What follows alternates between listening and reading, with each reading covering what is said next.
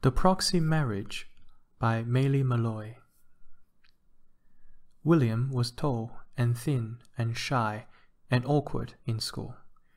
His best social tool was that he played the piano, and so was recruited for school musicals, which placed him at rehearsals and cast parties with kids he would otherwise scarcely have known. He thought he would either be a pianist or a physicist, although he didn't know anyone in Montana who did those things professionally. His piano teacher was a banker's widow who gave lessons in her lace curtained house, and his physics teacher was primarily the wrestling coach. But William could imagine another kind of life.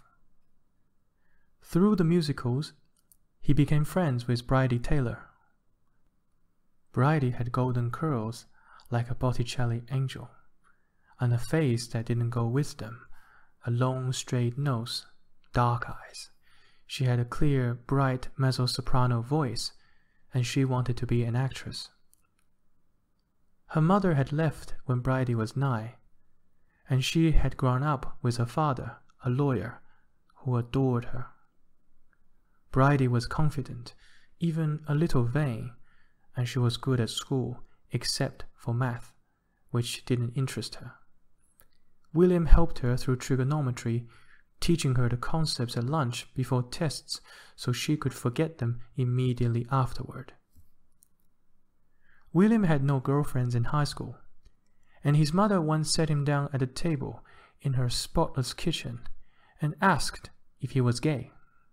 She said it would be fine with her she loved him unconditionally, and they would figure out a way to tell his father. But William wasn't gay. He was just absurdly, painfully in love with Bridie Taylor, who leaned on the piano and sang while he played, and he had no way of telling her. He was too shy to pursue other girls, even when the payoff seemed either likely or worth the agony. But he didn't tell his mother that. It was too humiliating. He just stammered an unconvincing denial. Other boys asked Bridie out, and William suffered through it. She viewed them with amusement, but she accepted most invitations. Encouraged in their junior year, William decided to ask her to the winter formal. He was getting ready vibrating with anticipation when Bridie told him that a tennis playing senior named Monty had invited her. What did you say? he asked. Oh, yes, I guess. William excused himself from homeroom and went to the disinfectant smelling tile bathroom. He waited until he was sure that no one else was there, then threw up in a green graffiti marked stall. He hadn't thrown up since he was six when he had the flu, and it was harrowing. His body seemed to have been taken over by some alien force. But Monty made a mistake. He sat Bridie down in his parents' living room two days after the dance and told her that he'd wanted three things out of high school to be the captain of the tennis team, to get into Berkeley, and to have a serious girlfriend. The first two had already happened, and Bridie would be perfect for the third. She reported the conversation to William, laughing. He was so earnest, she said, about his goals. William made a mental note never to be earnest with Bridie. In September of their senior year, the World Trade Center and the Pentagon were attacked, and the towers fell. William's parents were out of town, and he overslept, waking when Bridie called him. Wake up, she said. Terrorists are attacking America. Where? he asked, groggy with sleep. Everywhere, she said. At school, teachers brought out television sets on AV carts, and they all watched the news, silent and dazed. In November, troops were sent to Afghanistan. In December, Bridie's father came to her and William with a request. He'd been asked to arrange a proxy wedding for a Marine corporal in Kandahar with his fiancée, who was in North Carolina and pregnant. They wanted to give the child his father's name and a death benefit if something went wrong. Most states didn't allow proxy marriages, and Montana was the only one that allowed double proxy weddings in which neither party had to be present. The practice seemed to have been allowed before statehood and had been used for soldiers during the Second World War, but no one knew exactly why it had arisen, possibly because it was difficult to travel long distances to a courthouse to marry an out of state sweetheart. Mr. Taylor asked Bridie and William to be the proxies. He'd asked his secretary and his paralegal first, but they had no interest. William's mother thought that it was a good idea, and a way to do something for the country when everyone felt helpless, a small offering. William thought that she hadn't believed his claims of heterosexuality before and was happy with the idea of his marrying a girl. He wondered if Bridie's father thought he was gay too, or just dickless and unthreatening. But William took the thing seriously. He couldn't help it. Even a fake marriage to Bridie Taylor filled his heart with unaccountable joy, and he went home after school and put on his dark gray recital suit and a tie. He and Bridie were getting fifty dollars each, and he thought he should dress for the job. At the county courthouse, he found Bridie with her sneakered feet up on a heavy wooden table. Her hair was pulled back in a stubby, curly ponytail, and she wore the jeans and sweatshirt she'd put on for school. She glanced from William's face to his suit. You look nice, she said. There was annoyance in her voice. Thank you, he said, mortified. Bridie looked like an ordinary girl in a sullen mood, not like the love of anyone's life, and he felt a flicker of hope. Not that she would ever come to love him, but that someday he might not be in thrall to her. He might be free. She was chewing gum.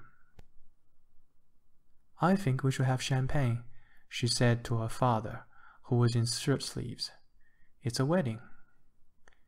You aren't old enough, her father said. He was a big man, bearish but kind, and he had scared William at first, though he didn't any more. I'm old enough to get married, Bridie said. Not really, her father said. The marrying couple had sent photographs, and Bridie dropped her feet to the floor and propped up the photos against two water bottles on the table. The bride had light brown hair and freckles on a wide open, pale face, and the groom was in uniform. They aren't going to last, she said. I can tell. Bridie, her father said, looking over his glasses. This man could be killed any day. Show some respect. Spit that gum out. Bridie rolled her eyes, folded the gum into a scrap of paper, and tossed it into a wastebasket by the door. Her father's secretary Pam came in to serve as a witness. She had neat, short gray hair, and she was wearing a dress, for which William was grateful. Mr. Taylor began reading from a piece of paper. We're gathered here today to join this couple, who have applied for and received a marriage license from the state in holy matrimony. Do you, Bridie, take this man by proxy to be your lawfully wedded husband, to have and to hold by the laws of God and of this state? There was a silence. Then Bridie said, Oh, sorry, I do. Do you promise to love him and keep him, in sickness and in health, for richer and for poorer, as long as you both shall live? I do, Bridie said. William's heart thudded twice in quick succession. Her sleeves were pushed up to her elbows, and he found himself looking at her narrow wrists and the fine, downy hair on her arms. He was shot through with desire. So much for being free. Her father said, Do you, William, take this woman by proxy to be your lawfully wedded wife, to have and to hold by the laws of God and of the state? I do. Do you promise to love her and keep her, in sickness and in health, for richer and poorer, as long as you both shall live? William's voice caught, I do. Then I now pronounce Shelley Jane Jackson and Anthony James Tiborder man and wife. Mr. Taylor put the paper down. That's it? Bridie asked. That's it, her father said, and you have to sign. William signed his name, his hand shaking only a little, and Bridie signed hers. Pam signed as the witness. Then Bridie's father produced a folded stack of cash and peeled off one $50 bill for Bridie and one for William. We're rich, Bridie said. Let's go get food. They sat over bowls of chili in green booth downtown, William self-conscious in his suit. Why the bad mood? he asked. I told my mother I'm applying to conservatories, Bridie said, to study musical theater. She said it was cliched and superficial thing to do, and that anyway I'm not pretty enough. Almost, but not quite. She just wanted to be honest to save me the disappointment later. That's sweet of her, he said. I thought you weren't in touch. We are, March, Bridie said. I used to see her once a year, but it confuses her now that I'm not a little girl anymore, so I don't go visit. I thought she'd lost all that scary maternal power, you know. Are you really wearing that dress? That kind of thing. But I guess she hasn't. Do you know why she left? William shook his head. Bridie never talked about it, and she'd only heard rumors. She met a psychic channeler who put her in touch with her past lives. She was always in the past life, that's why she named it Bridie. Some woman got hypnotized a long time ago and said she used to be an Irish girl named Bridey Murphy who died, and she had all these details, and there was a book, and reporters checked, and the dead girl never existed, except my mother still believes it's possible. She moved to Oakland to be near her psychic. One of her other past lives was as a pioneer woman, digging potatoes with her hand. One was as a French courtesan before the revolution. My mother thinks that's why her French is so good. I used to want her to be interested in this life, you know. She has indoor plumbing in this life and a daughter, but she likes the other lives better. Bridie rubbed her nose. I just wish I didn't care. Of course you care, William said. She's your mom. Hardly. She still is. Elbow on the table. Bridie rested her temple in her palm, fingers in her curls. Do you think that couples will stay married? she asked. The ones today? I hope so. Do you believe in true love and all that? William cleared his throat. I think so. Bridie buried her spoon in the chili and let it fall with a clink to the bowl's white rim. I don't know though. What are the chances that you'll meet that one person? Better than the chance of contacting a dead pioneer woman. She smiled, but her eyes grew shiny with tears. I guess. She gave you a good name for your new job, he said. Proxy Bridie. Bridie laughed and wiped at her eyes. So I should give her more credit. No, William said. You give her too much. Bridie's father asked them to do another proxy wedding that winter. When they met at the courthouse, Bridie brought her acceptance letter from a conservatory in Chicago and showed it to William. She was in a spectacular mood, hugging her father when he arrived, flirting with William during the ceremony. But William knew better than to think she was actually flirting with him. It was just her happiness spilling over. Other soldiers heard about the proxy law, and William and Bridie did three more weddings on a single day in the spring and three in the summer after they graduated. It got easier for William as the ceremony became familiar. His heart didn't trip over itself so much when he said, I do. Then he went to Oberlin to study piano, and Bridie went to Chicago. College was busy, and they were only sporadically in touch. But at Christmas, they met in the courthouse for another wedding. Bridie's father wasn't there yet, and William and Bridie sat at a heavy wooden table. She was thinner, and it shocked him. She had never been fat, but she had always been a little rounded. Now that roundness was gone. It's exhausting, she said. The girls there are really dancers. I'm killing myself to catch up, and they're, I don't know, ruthless. They come from places with serious theater programs where you have to be better than 300 girls to get a part. Here I just had to be better than three other girls. So they become these thin, flexible blades of ambition, and I'm, I don't know, this goofy girl who wants to sing and dance. That might be a good thing, William said. At college, he played piano for ballet classes for extra money, and he knew what she was talking about. The hardness of the dancers. You might seem fresh and better. I don't think so, Bridie said. Do you have friends? I do, but they, you know how here the bad kids drink beer from kegs and get into fistfights and go sledding drunk? William smiled. It was one of the things he'd been happiest to get away from. There, Bridie said, they do ecstasy and strip to that Leonard Cohen song everybody knows, or to any song really, and then fall into bed with whoever's there. It's like they have these fabulous bodies and don't want to waste them. There were so many people you just had to meet without your clothes, that's the line they like. Do you...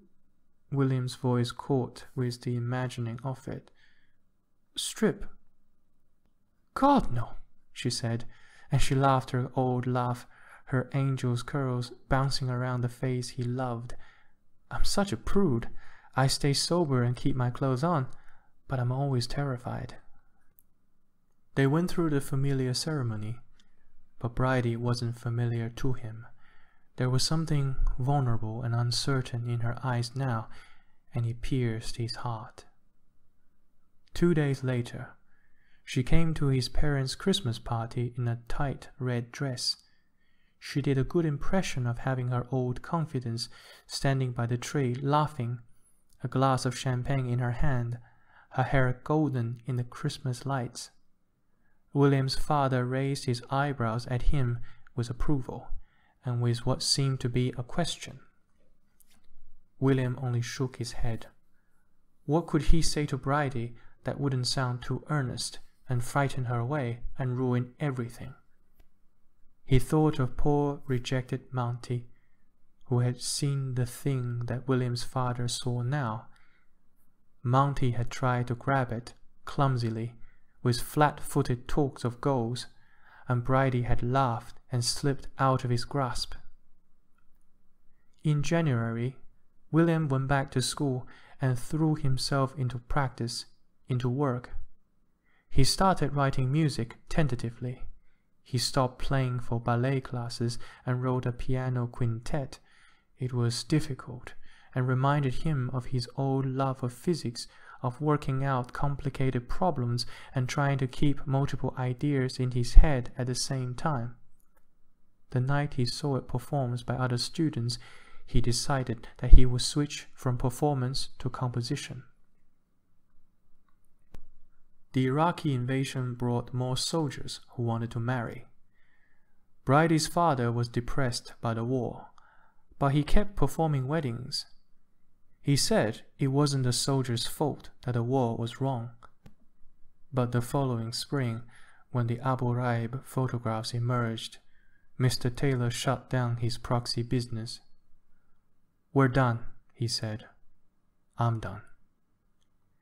William thought there must be a long compound German word for the way that large events in the world could affect your personal life. The scale was reduced to the point of insignificance, but the everyday effect was amplified. No more proxy marriages meant very little contact with Bridie, now that they were at different schools.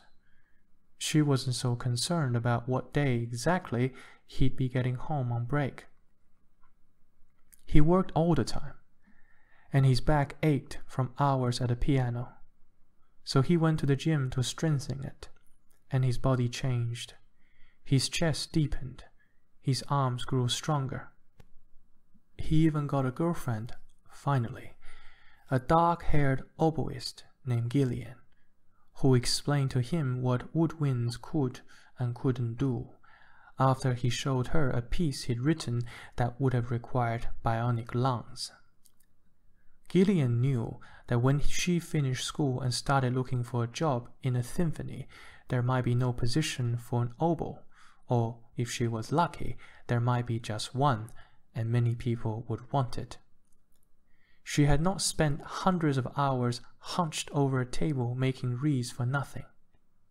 She knew how old all the principal oboists were, whether they were married to someone whose work might take them to another city, and whether they were happily married. She was determined to get whatever spot came up, and she had ambition to spare for William. Neither his parents nor his old piano teacher had ever had exactly that. They wanted him to be happy, but Gillian wanted him to be prominent. There might be an opening in Tampa, she said, lying in his dorm bed. Would you come to Tampa? You could work as well there as anywhere. Looking at her beside him, her fine dark hair fanned out on his pillow, mascara smeared touchingly under one eye, he realized that he wouldn't go to Tampa if an oboist dropped dead and Gillian got the job. He wondered if this was how other people plumbed the secrets of their own hearts with tests like, Will you go to Tampa? I'm going to graduate school, he said. Gillian's brow furrowed. Where? she asked. He could see her running through the oboe list in her head life expectancies, marital chances. I don't know yet, he said. I am tired of Ohio. I haven't gotten much further than that. It was true. It didn't matter where he went. He was grateful to Gillian for her cold ambition and her warm company and for the abundant sex. But it wasn't fair to let her think that he'd go to Tampa. And it wasn't her fault that she wasn't Bridie Taylor proxy applicants began to write beseeching letters to Bridie's father, and finally he relented. At Christmas, William and Bridie did five weddings in a row. After they graduated, they had a docket of seven.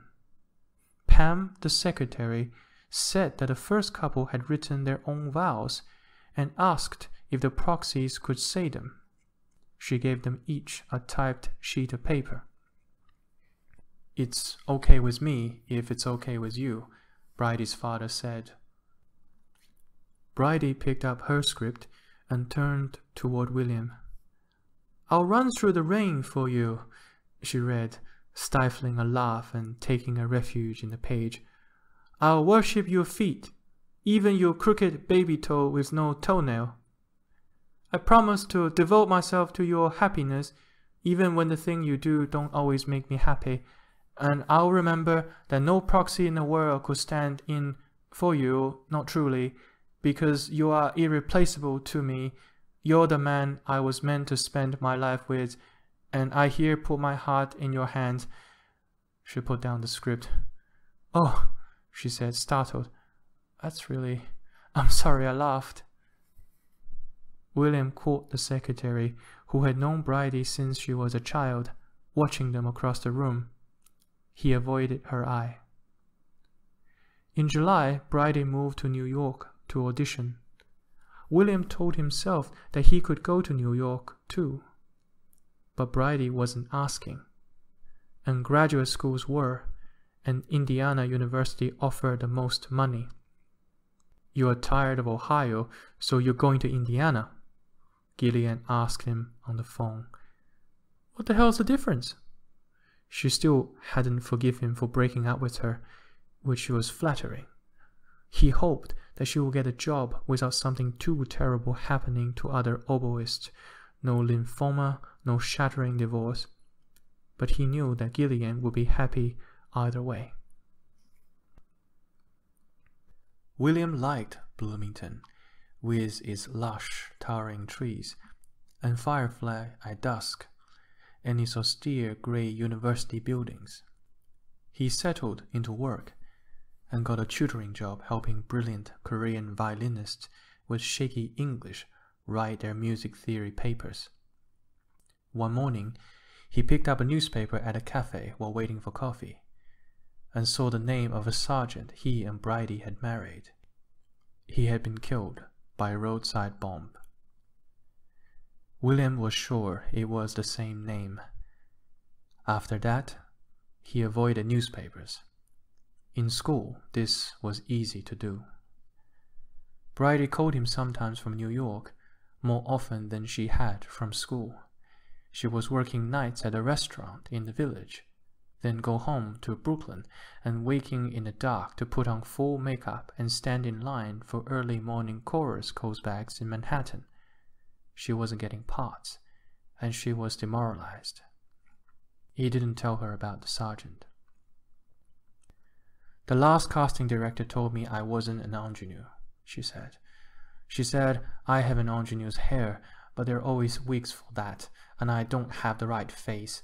She said, I am really a character actress and I'm not old enough for the roles yet. I'm not old enough for my face. So what am I supposed to do? Wait 30 years to have a career? Something will come up, William said. They will want someone with your look. I don't know, Bridie said. I'm not a real dancer. Thank God. And I'm just so tired. You need to sleep, he said oh, or you will look old enough for the character parts really soon. Bridie laughed, and then it turned into something like a sob. Maybe my mother was right, she said. I'm just not pretty enough. Bridie, he said, you've been there eight months. But they had the same conversation after two years, then three. Sometimes there were happy calls about jobs a cat food ad that paid bills, a touring company that never made it to Indiana, but rejection was wearing her down. Sometimes he went weeks without thinking of Bridie, and sometimes she haunted him. Then came a year when there were no calls, no emails, no word.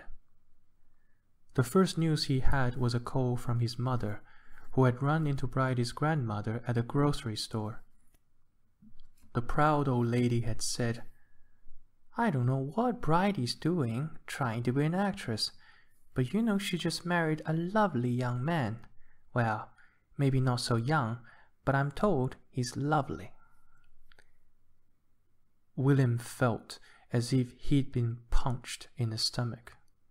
He couldn't find the breath to talk normally to his mother, and she seemed to understand. I'm sorry, William, she said. Thank you for telling me, he managed to say. He waited for Bridie to call, but she didn't. Finally, he texted her. What's new? She didn't respond. He was working on a commission, but the notes swam together every time he looked at it. He sat at the keyboard in his apartment, and his head spun with thought of what he should have done differently. He'd know Bridie had boyfriends, but somehow he never thought that she would marry someone else. She married him, William, every time they were home.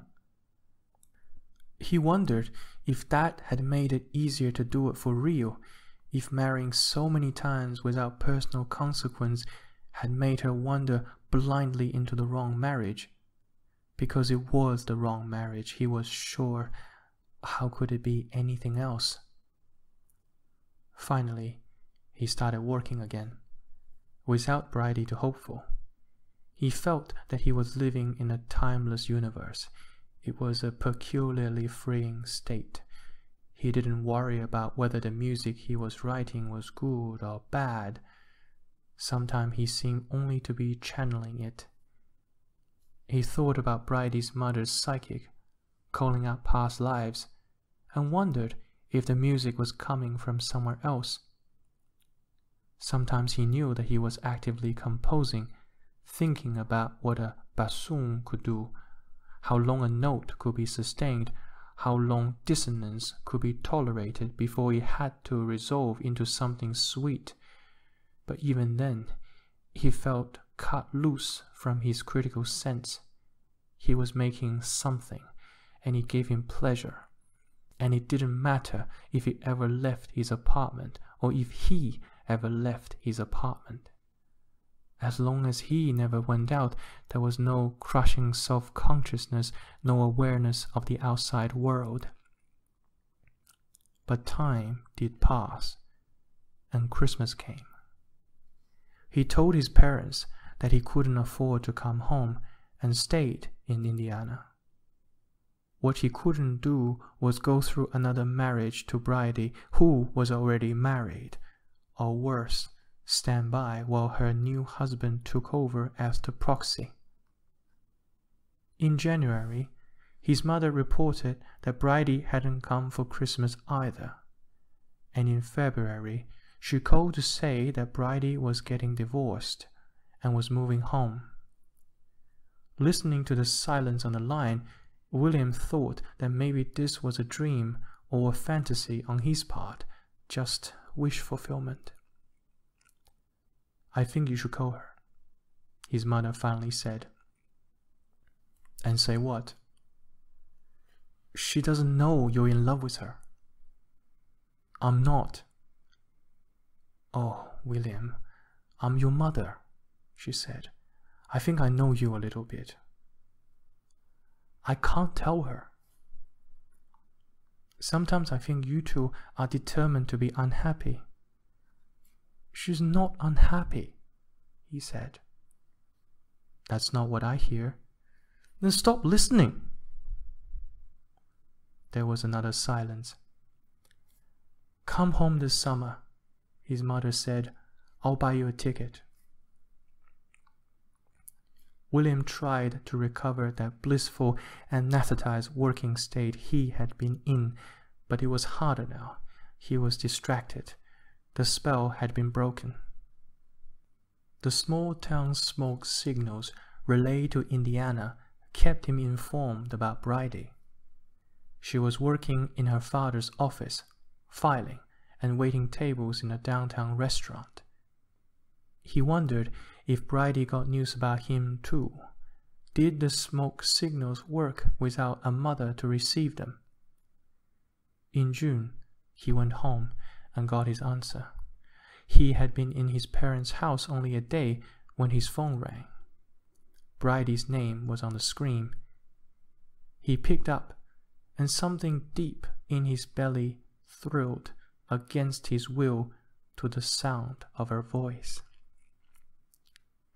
My father wants to know if you will do another wedding, she said. Just one. He said nothing. William? Who's been doing it since we've been gone? he asked. No one. He hasn't been doing them. I heard you got actually married. I did. He could hear her trying to keep her tone light. Turns out I'm not so good at the real thing. Who was he? He owned a restaurant where I worked, she said. Do you remember the Jungle Book when the python hypnotized Mowgli and his eyes twirl and he'll follow the snake anywhere and let himself be strangled? That was me. I was Mowgli, but I slipped the coils. Why? Oh, she said wearily. He was sleeping with two of the other waitresses. Is that enough? Look, I can tell my dad you can't do it. I'll do it, he said. When William parked his mother's car in the courthouse lot, there was a woman beside him in a red pickup truck, crying. The air was brisk, and the tall old stone building imposing, with the new prison built alongside it. Inside the courtroom, the room they usually used was locked, so William backtracked to the clerk's office.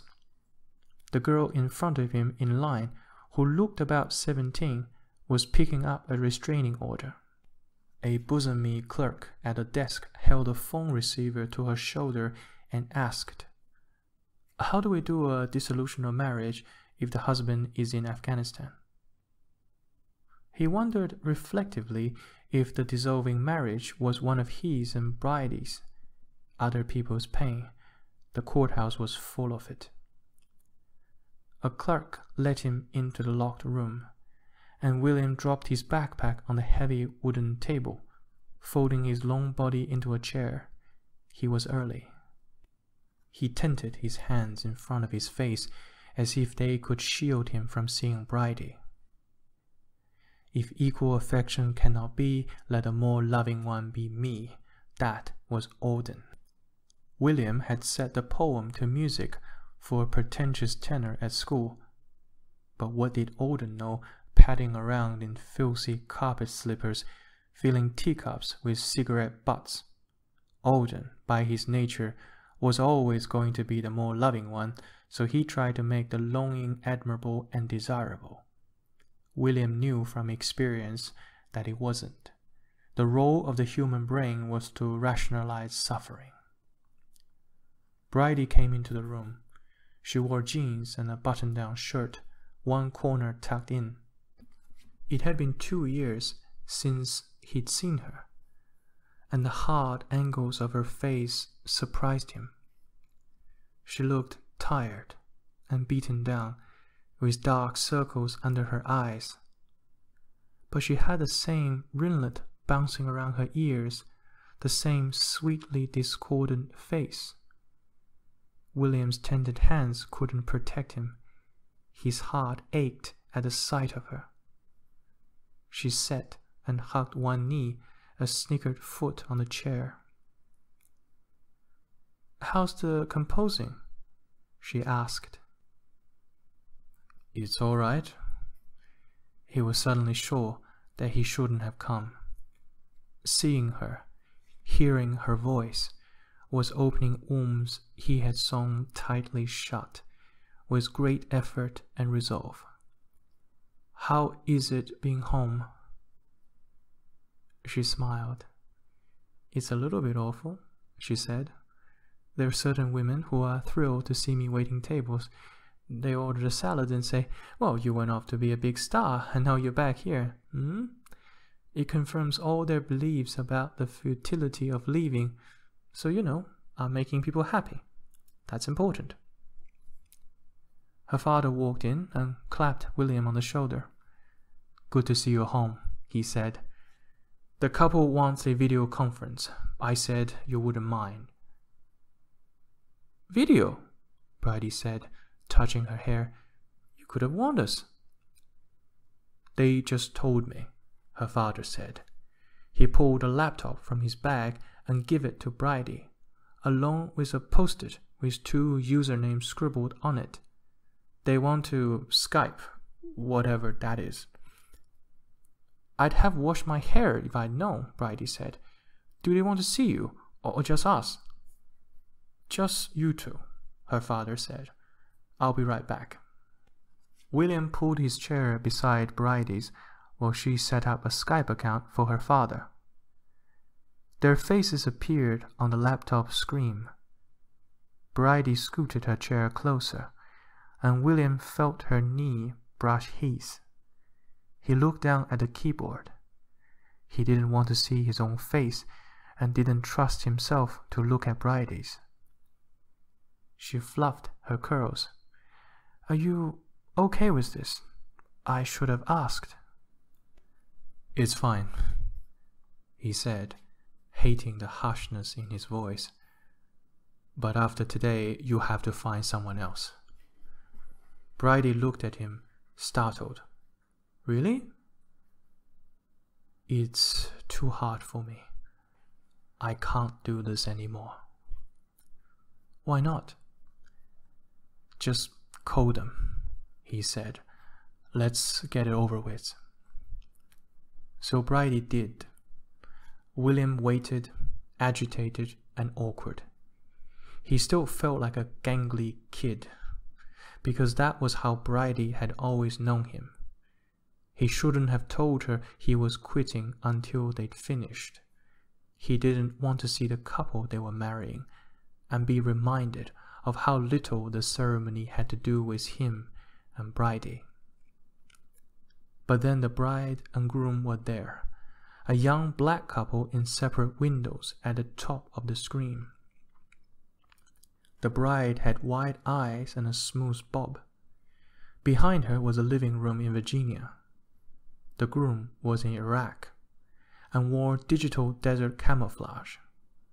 Their names were Natalie and Darren. Hi, Bridie said. I'm Bridie, and this is William. Where are your proxies? The bride frowned. I asked for black proxies, but the lawyer said you're in Montana. I guess it's pretty white there. It is, Bridie said apologetically. I'm his daughter, the lawyer's daughter. We always do the weddings. Okay, Natalie said. Darren asked, What's your success rate? Well, everyone gets married, Bridie said. You mean, do they stay married? Yeah. I don't know, Bridie said. William remembered the dead sergeant's name in the paper and the question about the dissolution of marriage, and he pushed both thoughts away. I wish this was the proper thing, Darren said, like if I was home. It's legal, Bridie said. You be married. See, baby, Natalie said to her fiance, it's all right. It just feels wrong, he said. I'm sorry, Bridie said. Thank you for your service. The soldier nodded. William resisted the urge to look at Bridie in surprise. Thank you for your service. Where had she learned to say that? Mr. Taylor came back to the room with Pam, who wore a flowered dress, and they sat down. Ready? he asked. William and Bridie nodded, and her father started the familiar ceremony. Do you, Bridie, take this man by proxy to be your lawfully wedded husband to have and to hold by the laws of God and of this state. I do, Bridie said. On the screen, Natalie started to cry. William answered in turn, and he saw Darren mouth the words silently along with him, looking fiercely intent. Bridie's father pronounced them man and wife, and Natalie put her hands over her mouth and tried to control her tears. As he signed his name and the date, William hoped the couple would be happy together. He hoped Darren would make it home. Bridie's father and Pam came around the table to wave at the camera and offer congratulations, and then left with the paperwork. William and Bridie were alone with the couple on the screen. You're married now, Bridie said. I wish I could say you may now kiss the bride. Natalie was rescuing her eyes' makeup from her tears. What? You don't provide that service? No, William said firmly. Oh, come on, Natalie said. To seal it, I'm a superstitious girl. You're lucky I don't ask you to jump over a broom. William turned in confusion toward Bridie. We could jump, he began. But then it just seemed to happen, as if by magnetic force, as if human lips couldn't be in such proximity and not meet. William's eyes closed. He was kissing Bridie Taylor. It was too much to take in. Her lips were soft and warm, and she smelled of something sweet and vaguely spicy. Ginger, maybe, in her hair. Then the kiss was over, and Bridie looked up at him with an expression of puzzlement. She was blushing. He could see a pink tinge rise in her cheeks. His ears burned painfully, and he knew they were turning bright red. There was a whoop and the sound of clapping, and William turned to see Natalie applauding them. Darren was grinning for the first time. Bridie gave a little bow to the camera. Her father walked in, and they both stood up instinctively like school children caught in some mischief. Their bench made a screeching noise as it slid back across the wooden floor. They said goodbye to the couple, and there were thanks and good wishes. And Bridie started to put away the computer. Mr. Taylor frowned at William. Is something wrong with your ears? William clapped his hand over them. They just get hot sometimes. Mr. Taylor looked suspicious, but he put his computer into his bag and left. Your ears really are red, Bridie said when they were alone. It happens. I remember, she said. You do? She nodded and raised her hands to his ears cool fingertips on the hot rims of cartilage. Please don't do this, Bridie, he said. Don't toy with me. I'm not. You are. Did you feel it before? she asked. When we when they asked us to kiss. Feel what? Something shifted all of a sudden, she said like it came into focus. Not for me. His voice was hoarse. No? She looked disappointed. He shook his head. It was always there. For me. His legs were trembling. She frowned doubtfully, and he thought of his mother saying, She doesn't know you're in love with her and of his anger that Bridie could possibly be so dense. It's true, he said. Her eyes went through a whole sequence of emotions surprise, then compassion and sadness, and then something that looked like joy. Her face flushed pink again, and she looked like the Bridie Taylor he had fallen in love with. How could you marry someone else? he asked. I told you, she said, I was hypnotized by a snake. That's no excuse. I don't know then, she said. I just, I didn't know. But now you do. I do. Are you sure? In answer, she drew him close to kiss the bride. William buried his hands in her curls at the base of her neck and felt her long desired body press against him, her soft mouth against his, the gingery smell. He thought he might weep with the relief of it, with the release of all the years of waiting, the intermittent periods of suppressed grief. Equal affection. Was this it? It didn't have to be exactly equal he would take anything close.